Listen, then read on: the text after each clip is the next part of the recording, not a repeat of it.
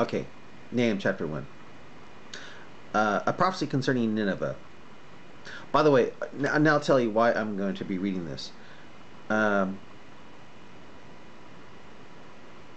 25 years ago, I was really into Bible prophecy. Uh, well, I was into it before that, but uh, when Iraq invaded Kuwait in, two, in, in 1991, no, excuse me, 1990, it really lit up the scriptures, including Nahum. And uh, I and my family thought uh, it was going to be fulfilled around uh, the Gulf War, especially when the Kurds rose up. But uh, Bush, the first Bush, refused to help the Kurds and let them get killed by uh, Saddam's helicopter gunships, and um, it was dashed. And uh, I noticed that as time went on, the book of Nahum just didn't seem to uh, make much sense. It just didn't seem to fit with uh, the Gulf War. It didn't even fit with uh, the second Gulf War. And when the Saddam statue went down at the end of the last Gulf War, I kind of held it. I kind of hung it up when it came to Bible prophecy, you know, and went on to other things.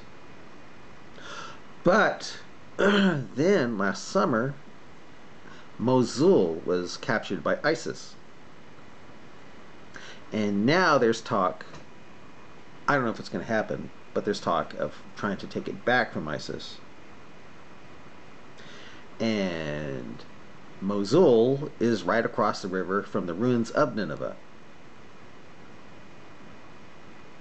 Which makes me think that Nahum is talking about Nineveh in our time, which will be Mosul.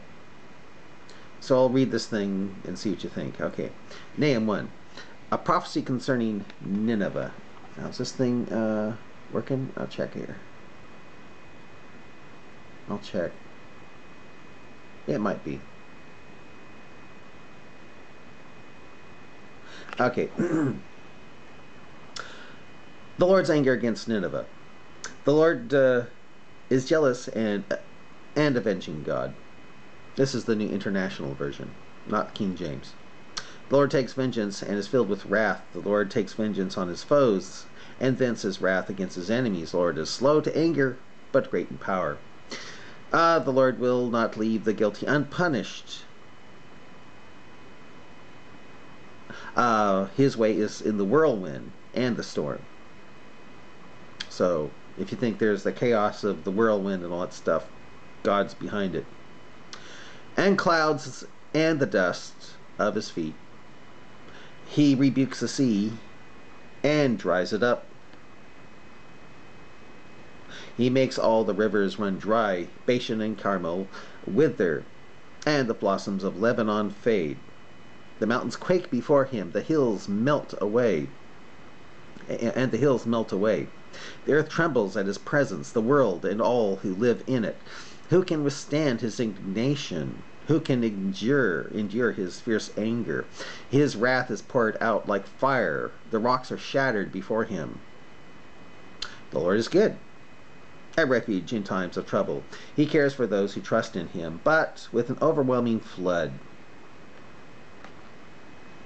he will make an end of Nineveh and its ruins right now, but Mosul is right next to it. He will, which makes me think that Mosul is the new Nineveh. He'll make an end of Nineveh yeah. Uh, he will pursue his foes into the realm of darkness. Whatever they plot against the Lord, he will bring to an end. Trouble will not come a second time. They will be entangled among thorns, and drunk from their wine they will be consumed like dry stubble. From you, Nineveh, has one come forth who plots evil against the Lord and devises wicked plans. That to me is could be talking about ISIS in our time. This is what the Lord says Although they have allies and are numerous, they will be destroyed and pass away.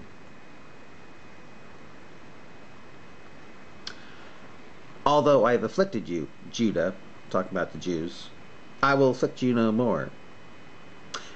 Now I will break their yoke from your neck and tear your shackles away. So, in other words, no more attack on Is- uh, no more attack on Israel. Apparently, the Lord has given a command concerning you, Nineveh.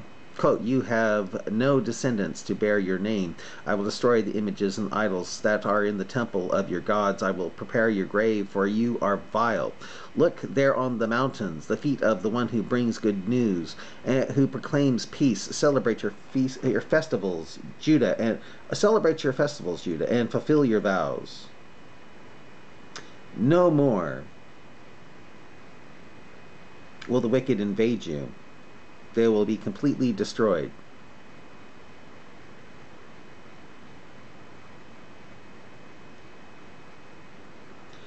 Okay, now, see if I can find uh, Nahum 2.